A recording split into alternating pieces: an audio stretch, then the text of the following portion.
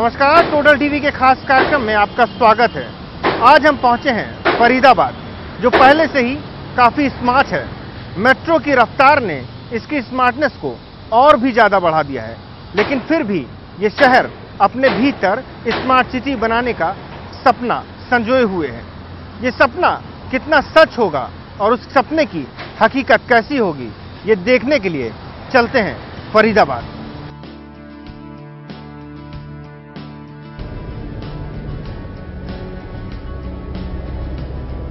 हम toll plaza से फरीदाबाद में दाखिल हुए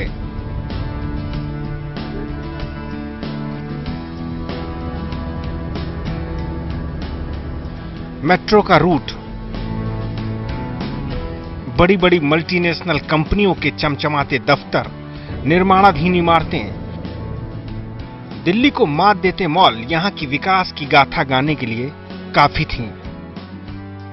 सब कुछ होने के बाद भी एक अदद ऑटो में पीछे तक लदी सवारियाँ यहाँ की व्यवस्थाओं पर पैबंद लगा रही थीं। शहर के भीतर ये तस्वीरें आम थीं। हमारी पड़ताल का अगला पड़ाव इंडस्ट्री सेक्टर था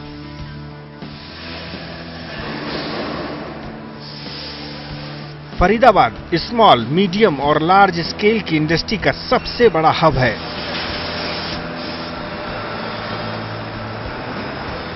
यहाँ करीब 18,000 छोटी बड़ी औद्योगिक इकाइयाँ मौजूद हैं।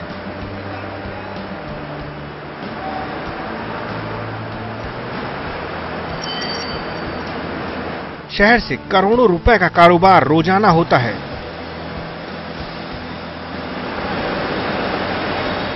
फरीदाबाद को पूरे हरियाणा में सबसे ज़्यादा टैक्स देने वाला शहर कहा जाता है। ये शहर हर तरह का कारोबार करता है और लाखों लोगों को रोज़गार देता है। फरीदाबाद को स्मार्ट सिटी बनाए जाने की कल्पना हो और उद्योगपतियों की राय न ली जाए, ऐसा मुमकिन नहीं है। इस वक्त हमारे साथ मौजूद हैं नरेंद्र गुप्ता जी, जो कि फरीदाबाद इंडस्ट्रियलिस्ट एसोसिएशन के पदाधिकारी हैं। गुप्ता जी, आपसे जानना चाहेंगे कि फरीदाबाद में उद्योग की क्या स्थिति है? देखिए, हमारा लोकेशन के दृष्टि से बहुत अच्छा दिल्ली के बहुत नज़दीक हम बैठे हैं। बहुत अच्छी हमारी कनेक्टिविटी है। अट्ठारह हज़ार के लगभग हमारे टिनी मीडियम और स्मॉल और लार्ज इंडस्ट्रीज़ हैं, जिसमें 26 एम भी फरीदाबाद में काम करती हैं।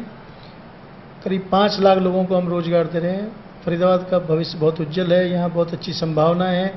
कनेक्टिविटी रोड की कनेक्टिविटी आपको मालूम है कि एन एच पे हम स्थित हैं रेलवे से हम जुड़े हुए हैं। यहाँ के उद्योगपतियों को स्मार्ट सिटी को लेकर सरकार से बहुत उम्मीदें हैं। कुछ पूरी हो गई हैं कुछ बाकी हैं। फरीदाबाद में और यहाँ के लोगों में एक स्मार्टनेस है। वाकई में सब लोग दिल से चाहते हैं। यहाँ की मैनेजमेंट इंडस्ट्रियल मैनेजमेंट भी बहुत अच्छी एक्टिव रूप से सोशली काम करती है तो निश्चित रूप से हम स्मार्ट सिटी में आएँगे।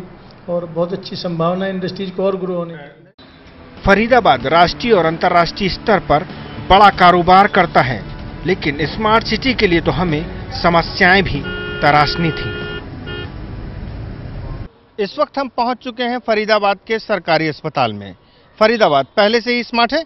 देखते हैं कि यहाँ के हेल्थ सेक्टर में कितनी स्मार्टनेस है।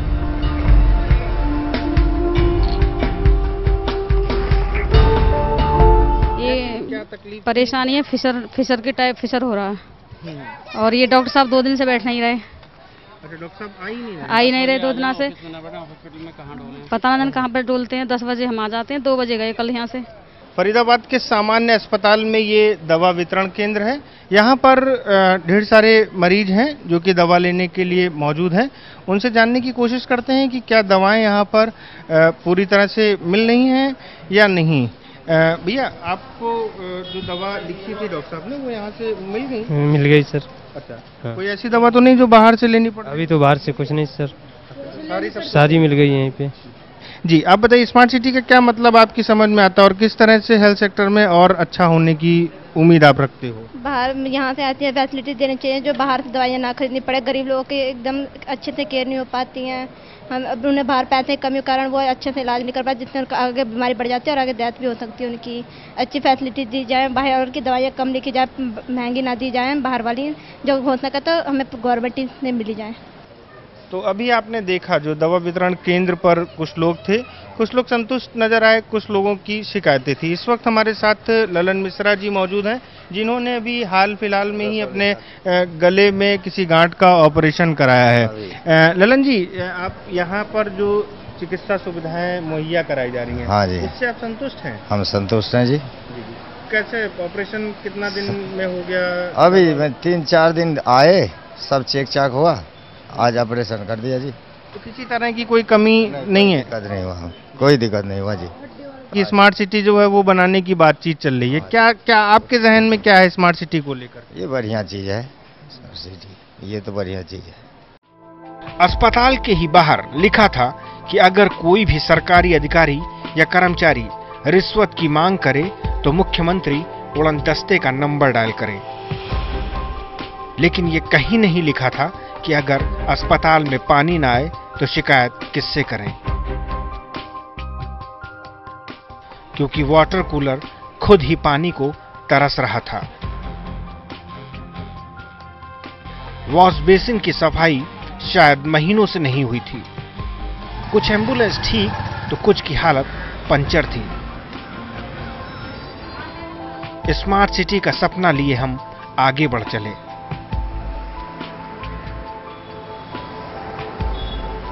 पुराना शहर भरी दोपहरिया में जाम से जूझ रहा था, क्योंकि पार्किंग की पनौती यहाँ भी थी।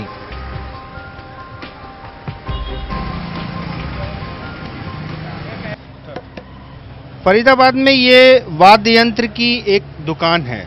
ये इस दुकान के जो मालिक हैं, वो हैं सरताज आलम, जो खुद इन वाद्य यंत्रों को तैयार करते हैं, बनाते हैं और उनकी रिपेयरिंग का भी काम करते हैं। तरह तरह की धुन इसमें से सुनाई पड़ती है। ज़ाहिर सी बात है कि जब ये वाद्य यंत्र बजते हैं तो काफ़ी मन को सकून देते हैं। कुछ ऐसा ही सकून फरीदाबाद वालों को भी मिलने की उम्मीद है इस आस के साथ कि शायद उनका शहर स्मार्ट सिटी बने। सरताज जी चर्चाएँ हैं कि फरीदाबाद को स्मार्ट सिटी बनाने की योजना है। हालाँकि अभी तक फाइनल नहीं हुआ है।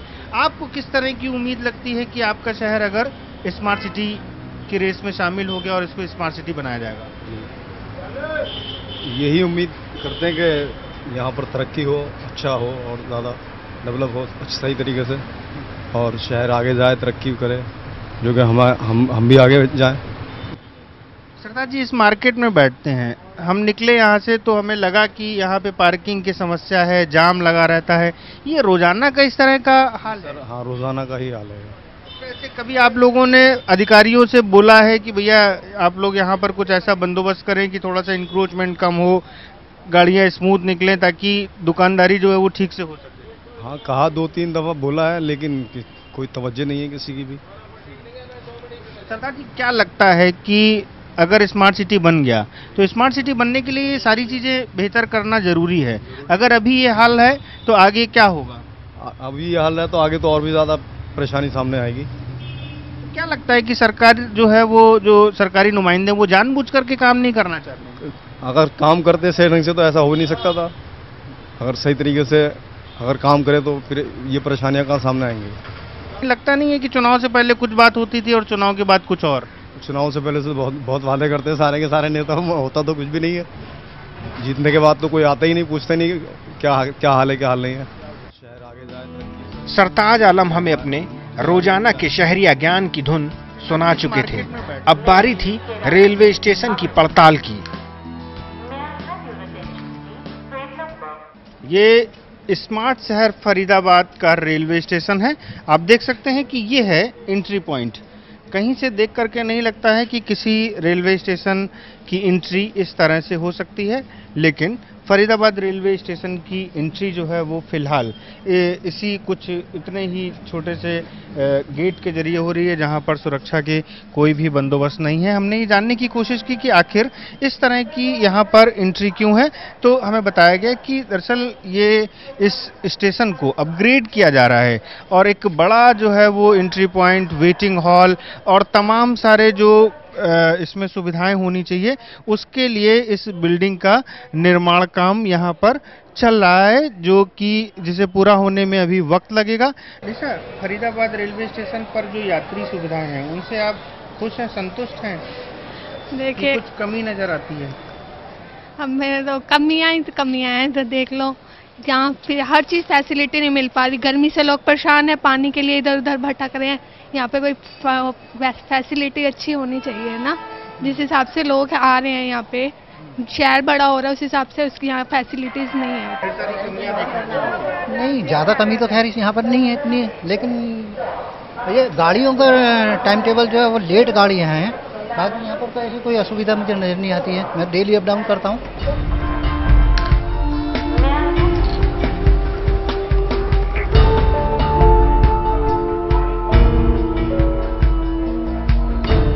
ये फरीदाबाद रेलवे स्टेशन की टिकट विंडो है। आप देख सकते हैं कि दो टिकट विंडो यहाँ पर चालू हैं। एक जो है वो शायद महिलाओं के लिए आरक्षित है और दूसरी पुरुषों के लिए। इस तरह की भीड़ हर रेलवे स्टेशन पर देखने को मिलती है। और कई बार तो ऐसा होता है कि कतार इतनी लंबी लगी होती है कि लोगों की ट्रेन तक छूट जाती है। अगर यहाँ पर टिकट लेना हो तो कितनी देर पहले आप माइंड मेकअप करके आते हैं कि हम पहुँचेंगे? ट्रेन आने से कितनी देर पहले पहुँचना हो? बीस मिनट का टाइम तो लगता है। बीस मिनट एक्सपेक्ट करते हैं बीस मिनट लाइन में लगना पड़ता है। अगर यहाँ पर अगर छोटी लाइन है तो। बड़ी लाइन है जाती है हमारी साथ के साथ। ट्रेन भी निकल जाती है। अच्छा ट्रेन कई बार ट्रेन भी छूट जाती है और टिकट नहीं मिल पाता। हाँ ये ऐसा होता है। काफ़ी बार हुआ है ऐसा। यहाँ पर जो मुसाफिरों की तादाद है वो अ, हमें पता चली है कि बीस हज़ार जो फरीदाबाद फरीदाबाद के यात्री हैं वो रोज़ाना यहाँ से अप डाउन करते हैं। ज़ाहिर सी बात है कि बीस हज़ार मुसाफिरों में जो है वो अगर दो ये काउंटर बने हुए हैं तो नाकाफी साबित होंगे। हम स्मार्ट सिटी का सपना लिए शहर की पड़ताल में आगे बढ़ चले। ऑटो फरीदाबाद की लाइफलाइन है। सारे ये ऑटो ड्राइवर्स हैं जो हमें देख करके यहाँ पर इकट्ठा हो गए। और इन्होंने हमें बताया कि सबसे बड़ी दिक्कत यहाँ पर यह है कि एक भी ऑटो स्टैंड नहीं है जिसकी वजह से आए दिन यहाँ पर जाम भी लगता है। इन लोगों को भी जलालत झेल- झेलनी पड़ती है क्योंकि मजबूरी है। दो पैसे के लिए इन्हें भी यहाँ पर खड़ा होना पड़ता है, मुसाफिरों का इंतज़ार करना पड़ता है। लेकिन इस बीच में पुलिस वाले भी परेशान करते हैं, जो पब्लिक आती है, उनसे भी इनकी झड़प होती। है किस तरह की समस्याओं का सामना करना पड़ता है? सर, सबसे बड़ी प्रॉब्लम ये है कि यहाँ पार्किंग नहीं है। अगर हमारा एक प्रॉपर स्टैंड हो कि जो बंदा इमरजेंसी में घंटे के लिए भी जाता है या दो घंटे के लिए जाता है उसको ये तय रहता है कि अभी मेरी गाड़ी सेफ़ है। प्रशासन दो सौ रुपये की पर्ची काटता हमारे के लिए जब मर्ज़ी भगा देता हमें यहाँ कोई सुविधा नहीं स्टैंड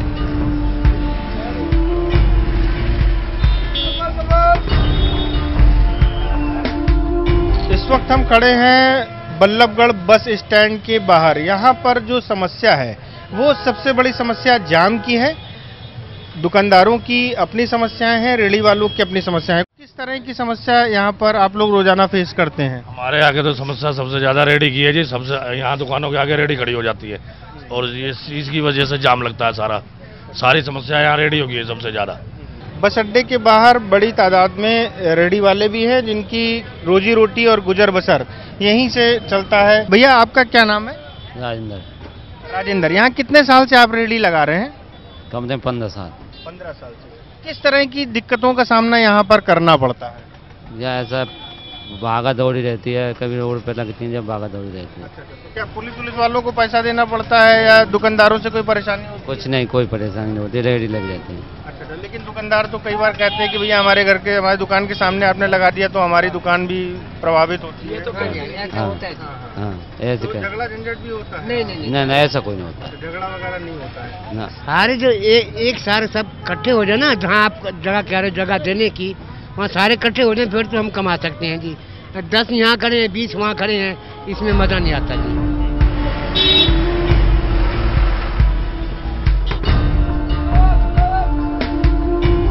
गीता अरोरा है। मैं यहाँ पे काफ़ी आधे घंटे से खड़ी but C S one A का इंतज़ार कर रही थी बाईपास बस का। अभी रिसेंटली एक दो दिन से ऐसे ही चल रहा है कि बसेस टाइम पे नहीं आ रही है। अर्ली मॉर्निंग भी खड़े होते हैं हम लोग तो वहाँ भी बसेस का टाइम कोई फिक्स नहीं है। कभी आधा घंटा कभी डेढ़ दो घंटा लेट ही होती है। हम करीब हो गए पैंतालीस मिनट से इंतज़ार कर रहे हैं और बदरपुर बॉर्डर जाना है। तो क्या बसें यहाँ पर टाइम से नहीं मिल पाती बसों में क्या है अगर आएँगी तो एक साथ चार चार बसें आ जाएँगी। और नहीं आएँगी तो फिर मतलब टाइम पीरियड नहीं है। उसमें क्या होता है, एक बार बस भर के चली जाती है और पीछे सारी चार पाँच बस खाली जाती है फिर। भारत में जुगाड़ टेक्नोलॉजी सबसे ज़्यादा कारगर है। आप देख सकते हैं कि बस अड्डे के बाहर, यानी फरीदाबाद बस अड्डा जो है, उसके ठीक बाहर ये जुगाड़ से डिवाइडर बनाया गया है। लोहे की ये एक एंगल है बड़े मोटे से, जिनको बीच सड़क में रखा गया है, जो आड़े तिरछे पड़े हुए हैं। कई बार इनसे हादसे भी हो जाते हैं लेकिन इसी जुगाड़ के सहारे ये सड़क दो हिस्सों में बटी हुई है स्मार्टनेस की तलाश में बहुत कुछ जुगाड़ भरोसे दिखा।